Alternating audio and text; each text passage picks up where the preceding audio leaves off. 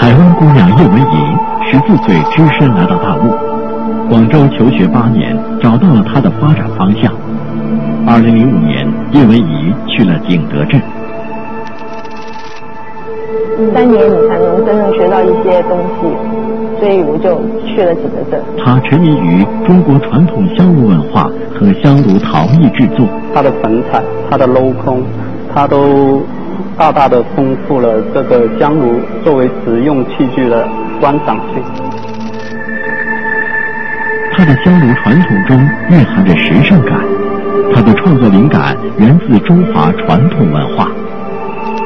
从中国传统的元素里面出发，嗯，因为传统东西真的太迷人了。敬请收看《天涯共此时》节目《台湾女孩的香炉人生》。每上一步，都离不开贵人的扶持。贵天下好茶，献给生命中每一位贵人。贵天下。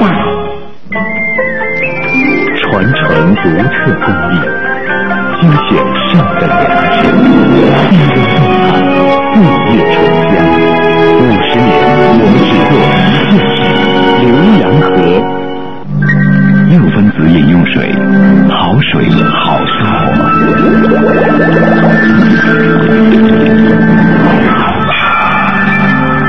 好水好生活，六分子水。千年的歌声，万年的韵味，民族文化的殿堂，走遍大地神州，最美多彩贵州。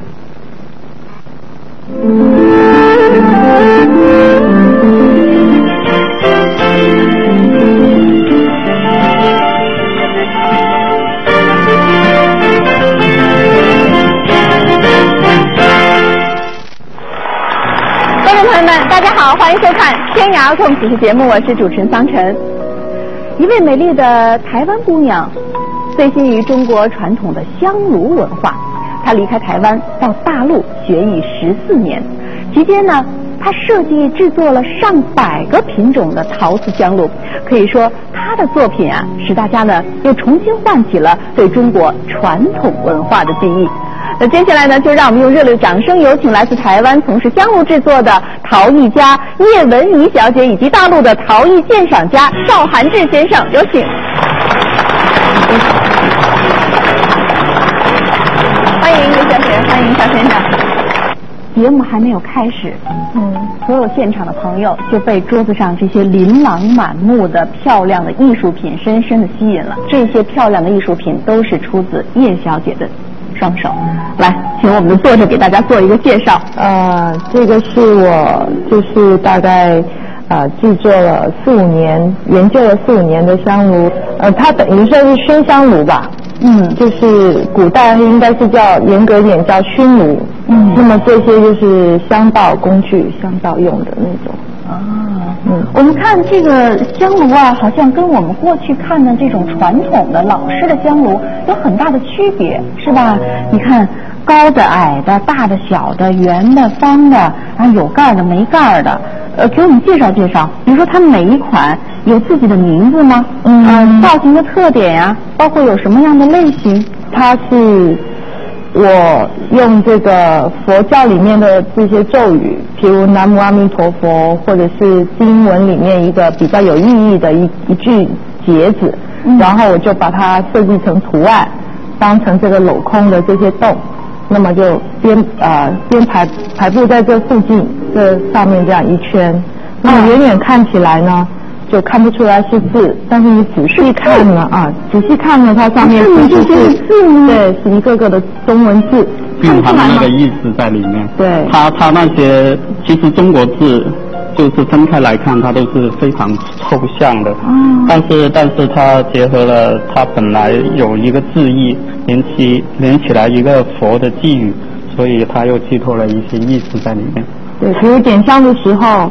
那么这个啊烟从这个洞里面这样子飘出来，那相当于就好像我们在念念咒语哦，这佛教有关福的意思。不过我看了半天，我也没看出这是什么这个。是南无阿弥陀佛，这个就是咒语炉。咒语炉，嗯，这一款很可爱哈。这应该是我们中国传统的青花类型吧？是青花，就是上面的图案是传统的缠枝莲图案，嗯但是稍微做了一点简化。那上面的镂空是一个凤凰，啊，凤凰。嗯哦，离近了可以看出来是一个凤凰。对，嗯，我们打开看一下。嗯，打开这里面可以放香，可以放这种盘香是吗？是对香粉香香粉香灰粉、香灰上面，然后再放香。这个我们看出来，上面是对真佛的这个是我最近去敦煌，然后看了一些里面的壁画，那我挺感动的，所以呃，我最感动是那些千佛，就是千佛的那些图案，一个个的就整个洞穴全部画满，所以我就回来借鉴了一下，就设计了一款这样的香炉。这有什么名字吗？对还没取名呢，还没有，刚刚做出来。啊，这已经大一点的，应该更难了吧？嗯，这个是我一个我很喜欢的一个作品，叫《金玉满堂》。啊这个难度还是三角的，要接起来烧制这么高温的话，它很容易变形。是这个山竹的，我们呃前后大概之前烧坏了大概有五十个吧。嗯，那后来我们掌握了一些技巧之后呢，它现在烧制就还算比较好。金玉满堂，对啊而且是三只可爱的大象来做这个角，旁边是粉彩，中间这个部分是镂空的，啊，镂空的也雕的是花，这好像是四件，应该是一组一个系列是吗？这是青金梅系列的香道组。哦，青金梅，因为上面我嗯看有漂亮的梅花，是对吧？，金梅就是我上面这些梅花，我们是用了纯纯黄金粉去调制的颜料，嗯然后描上去，二次再烧成的。嗯这个就是体量金梅系列。对，嗯，对，其实详细说应该是青金梅，青金梅就是青色的，嗯然后上面又有金色，其实就是也是象征这种冬天，但是梅花它却很灿烂的意思。嗯，而且是属于比较简单的香道组，因为再更复杂一点，它可能还会加一个像这样的炭炉，哦就是它有一个工具，上面会放一个铁一样的东西，上面有网子，是专门在把这个炭燃着的。哦那呃，因为在每一个步骤，不管香道茶道，就每一个步骤它必须很精致，呃，也很漂亮，嗯所以每一个东西它都要有器具。嗯那这个它主要是放啊、呃所有你要夹香炭啊，你要呃夹云母片啊，你要夹香材，还要刮灰，还要舀香粉的东西的工具，放在这个工具桶里面。哦，这个有一点像我们平时喝茶的那个茶道的那个对。一套的工具的啊。哦，那这个小盒子它就是放香材的，哦那这个打开，啊，那香碎材啊小木块就放在这里面，或是有的你可以放香粉，嗯，那你这用起来到里面放茶叶的那个茶叶罐一样的，啊茶叶罐那你就很优雅，因为你所有的东西都是整系列的。属于粉彩系列。对，粉彩系列的香炉，那它上面也是一朵莲花，那它旁边这些纹路是铜钱纹，铜钱，啊哎，我一个一个来打开可以给观众看一下。让我粘住了。粘住了。好，我来拿一下。你看上面这每一个孔，像那个铜钱中间的那个方形的孔，啊，像铜钱一样。然后中间是一朵莲花，啊，嗯，那它的特色就是它高足，嗯，那它可以焚一些比较小的香环，或者是点香粉都可以。这个很精巧哈，嗯可以放在案头、书桌上，是吧？？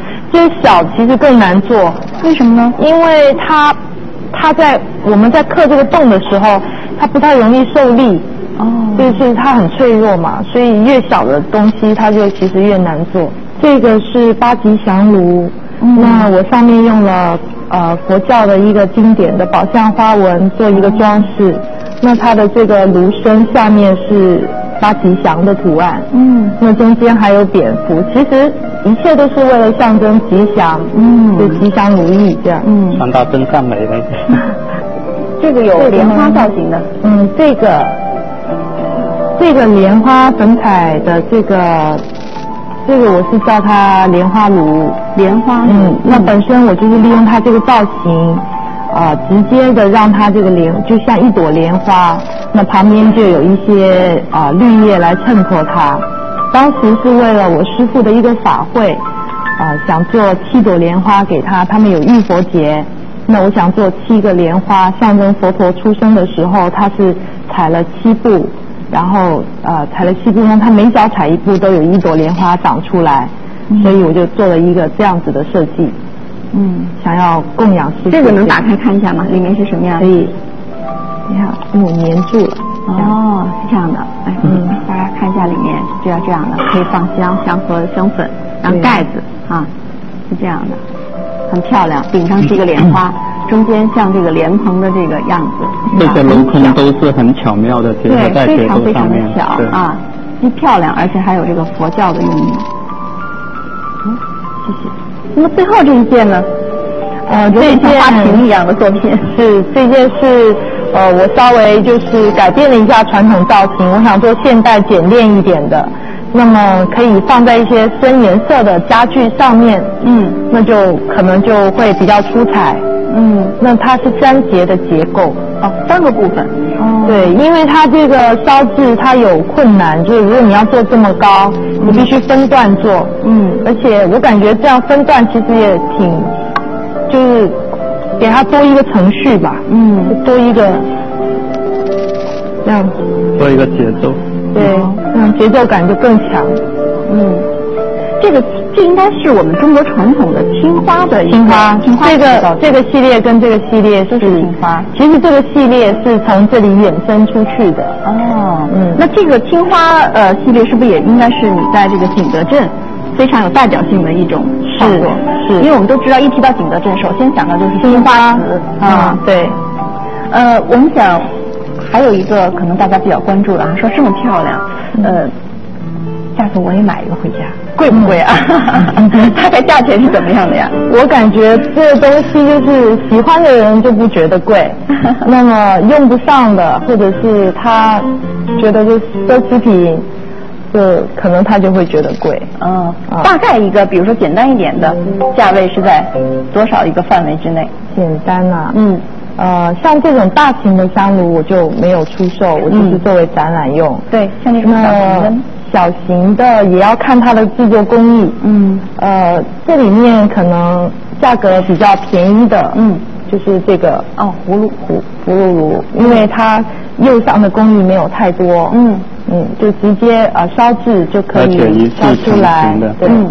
那么其他的像这种青花呀、粉彩的，呃，可能价格就稍微会贵一点。稍微贵一点。嗯，那么市面价大概就是呃三千多、四千块这样吧，不等。哦嗯嗯，几百块的也有。嗯，哎，我看大家频频点头了。叶文怡的霄云赞陶瓷制作工坊在江西景德镇旁边的一个小山村，他租了一座农家大院，一栋二层小楼，这是叶文怡亲自挑选的地方。楼下是陶瓷各种工序制作的地方，从陶瓷的拉坯、成型、上釉，他都亲自参与，一边干一边学。在景德镇，陶瓷制作有着丰厚的文化底蕴，它的陶瓷制作产业链非常发达，所有的工序都可以再加工。但是叶文仪制作的是小批量的创意产品，需要特殊加工，所以他组建陶瓷制作团队自己加工。这样做，叶文仪要冒很大的经济风险。如果陶瓷作品卖不出去，他就无法坚持下去。叶文仪在制作工坊里安置了烧气的窑和电炉。他设计制作的香炉大部分是粉彩、描金等复杂工艺的陶瓷作品。把毛坯作品精细修复，完成后上釉，先进行第一次高温烧制，需要在一千三百度的温度下烧制十多个小时。烧好后二次上釉，放入电炉进行高温烧制，这样一个作品才能够完成。由于每次烧制的产品都是具有创意的新作品，带有实验性质，所以成功率很低。慢慢的，叶文仪已经有了这种承受能力。你就没考虑过吗？我我我费了这么半天劲啊！你看这个百分之二十的成功率，万一我卖不出去，我怎么养活自己呢？我我这个工作室怎么维持呢？所以当时维持工作室是很艰难的，就是说，我也常怀疑自己，就是哎，干嘛要一直这样子，一要一直这样做这个东西呢？因为好多人来就说你不要再做香炉，因为也够了，嗯市场不需要这么多款式的香炉。那么甚至有朋友来就说，哎，你已经这样做的很好了，你可以开始转型做茶具了。对呀就不要再做香炉。那因为你做下去研究了一样东西之后，你就会还有很多种想法，觉得它还有可以这个可能，可以那个可能。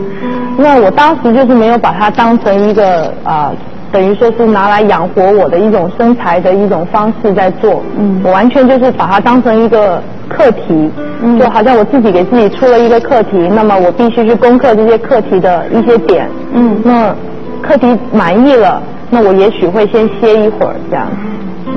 非常执着于自己的这个兴趣哈，对一定要做出一个对自己满意的交代。是。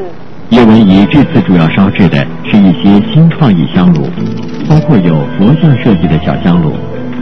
他在这款香炉的釉面配方上进行了一些调整。他希望香炉是一种发旧的色调，有一定的历史沧桑感。漂亮啊！嗯，这个烧的很成功，这窑烧了十三个小时。三个小时。嗯，然后因为这次调整了一下这个中间的色调，所以现在这个色调它就更加协调，啊、浓淡就很适宜这样子。嗯。专门就要设计这么一个大罐吗？不是的，因为我们我们做的香炉都是小件，你看我们的窑已经不大了，就两块板，但是我们要塞满一整个窑的话，估计都是要两个星期的时间。如果想缩短烧窑的